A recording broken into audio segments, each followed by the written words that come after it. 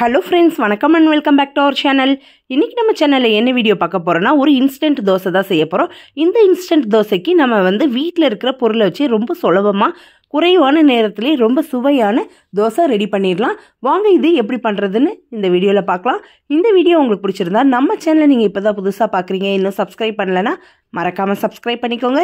உங்களுக்கான நல்ல நல்ல வீடியோஸ் ரெகுலராக நான் அப்லோட் பண்ணுவேன். வாங்க வீடியோக்குள்ளே போய் இந்த சூப்பரான தோசை ரெசிபி எப்படி பண்ணலான்றதை நம்ம இப்போ பார்க்கலாம்.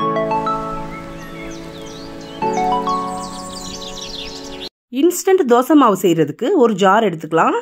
ஜாரில் ஒன்றரை கப் அளவுக்கு வறுத்த ரவை வறக்காத ரவை எதாக இருந்தாலும் நம்ம சேர்த்துக்கலாம். இதே பவுலில் தான் மற்ற பொருளையும் நம்ம வந்து அளக்கணும். ஒன்றரை கப் அளவுக்கு ரவை சேர்த்துருக்கோம். சேர்த்துட்டு அதே கப்பில் முக்கால் கப் அளவுக்கு துருவன தேங்காய் சேர்த்துக்கோங்க.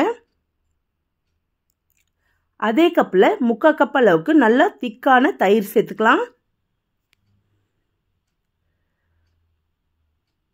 சேர்த்துட்டு ஒரே ஒரு பெரிய வெங்காயத்தை நல்லா தோல்லாம் சீவிட்டு நாலாக நறுக்கி அந்த பெரிய வெங்காயத்தையும் இதுக்குள்ளே சேர்த்துக்கலாம்.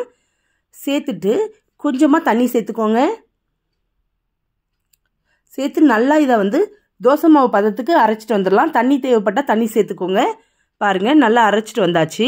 இதை அப்படியே வந்து ஒரு பவுலில் மாற்றிக்கோங்க பவுலில் மாற்றினதுக்கப்புறமா ஒரு ஒயர் விஸ்கை வச்சு இல்லைன்னா ஒரு கரண்டியை வச்சு நல்லா வந்து இதை கிண்டிடலாம்.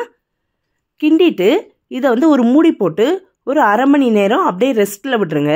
நல்லா ஊறி வரட்டும் ரவை. நம்ம இம்மிடியேட்டாக கூட இதை பண்ணலாம். ஆனால் கொஞ்ச நேரம் ரவை ரவை இருக்கிறதுனால நம்ம வந்து ஒரு அரை மணி நேரம் டு ஒரு மணி நேரம் நல்லா ஊற வச்சிங்கன்னா உங்களுக்கு தோசை இன்னும் வந்து நல்லா சாஃப்டாக பஞ்சு போல் வரும். உடனே செஞ்சாலும் நல்லாயிருக்கும் ஆனாலும் கொஞ்ச நேரம் உங்களுக்கு எப்படி விருப்பமோ அந்த மாதிரி செய்யுங்க. அரை மணி நேரத்துக்கு அப்புறமா இதில் தேவையான அளவு உப்பு கொஞ்சமாக சோடா உப்பு சேர்த்துருக்கேன். சமையல் சோடா உப்பு. சேர்த்துட்டு நல்லா இதை ஒரு வாட்டி நல்லா கலந்துக்கலாம். நல்லா ஒன்று போல் கலந்து விட்டுட்டு இப்போ வந்து தோசை செய்ய ஆரம்பிக்கலாம்.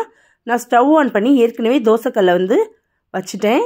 தோசைக்கல் வந்து நல்லா ஹீட் ஆகிட்டுருக்கு ஒரு மீடியம் ஃப்ளேமில் தோசைக்கல் நல்லா ஹீட் ஆகட்டும். ஹீட் ஆனதுக்கப்புறமா மாவு வந்து கொஞ்சமாக எடுத்துக்கோங்க. மாவு சேர்த்து தோசை ஊற்றிடலாம் ரொம்ப அழுத்தம் கொடுத்து ரொம்ப மெலிசாக தைக்காதீங்க கொஞ்சம் நார்மலாக ரொம்ப கல் தோசை இல்லாமல் லைட்டாக இந்த மாதிரி சுற்றி விட்டால் போதும். சேர்த்துட்டு சுற்றி வந்து எண்ணெய் சேர்த்துக்கலாம். எண்ணெய் சேர்த்துட்டு நல்லா வேக வச்சுருங்க.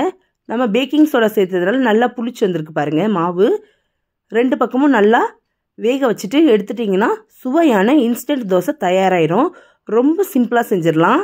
நமக்கு வந்து இதுக்கு வந்து வேறு எந்த பொருளுமே தேவையில்லை. புளிக்க வைக்கணும்னு அவசியமும் இல்லை. இட்லி தோசை மாவு இல்லாத டைமில் என்றைக்காவது ஒரு நாள் குழந்தைங்க திடீர்னு இட்லி தோசை தோசை கேட்டாங்கன்னா அந்த டைமில் இந்த மாதிரி நீங்கள் ட்ரை பண்ணலாம். செம்ம டேஸ்ட்டாக இருக்கும்.